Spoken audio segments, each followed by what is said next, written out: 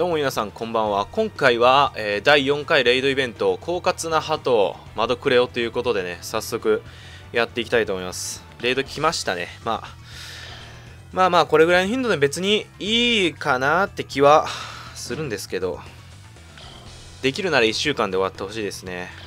無駄に長くやられるときついんで精神的に。アリーナのポイントがねなかなかこう無駄にしたくないっていう気持ちがね一日中つきまとってくるんで、まあ、100レベまでいけばあとは垂れ流してるだけでいいんですけどちょっとオートでやらせてください。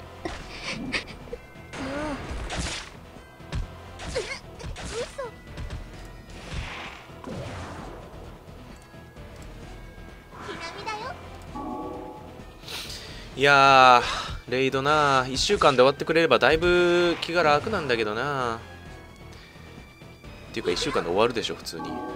もしかしてこれ引っ張るのか？窓さんのさえー、っとキャラのグループって24区入ってましたよね確か。私記憶上え何？いいのかな？さては。さてはこれレイドよくあるやつやない？これ。第1回レイドイベントの時もさあったんだけどあのー、お願いします。頼む頼む頼む頼む。頼む頼む。入れ入れ入れ入れ。タイトル戻ったのダメなような気がするんだけど。いけんのかな？ダウンロードが終わってないとかそういう感じか？入れんのかこれ？あ入れるんだ。見つかってるよなもちろん。スタミナ消費したんだけど多分。え嘘でしょ？よろしく。これどういうこと？さっき俺スタミナ消費してここ入りましたよね。まあいいやもう一回いけ。10ぐらいやるよ。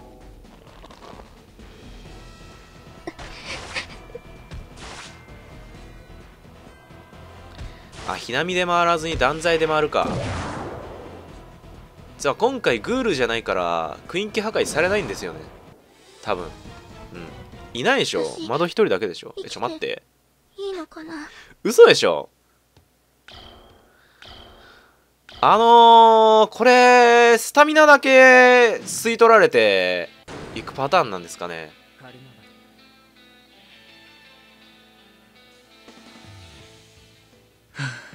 あこれスタミナちょっとと吸い取られてる感じかな？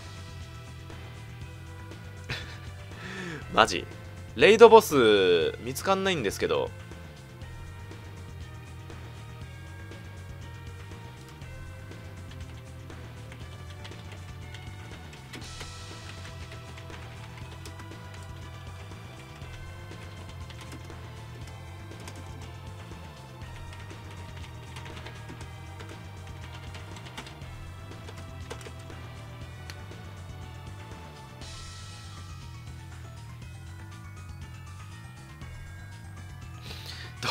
どういうことだこれ。いらっしゃい。マジ？ちょっともう一回もう一回行くかい。よろしく。危ない危ない危ない危ない危ない。さあ行こう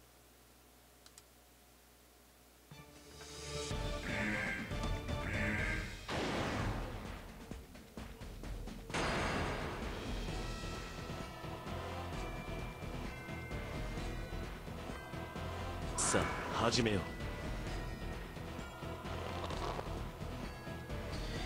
多分これメンテ入りますよね絶対。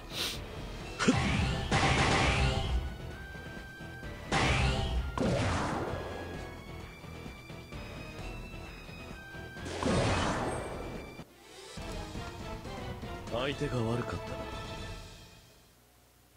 た。なあ。はい。ふうではまたメンテ明けにお会いしましょう。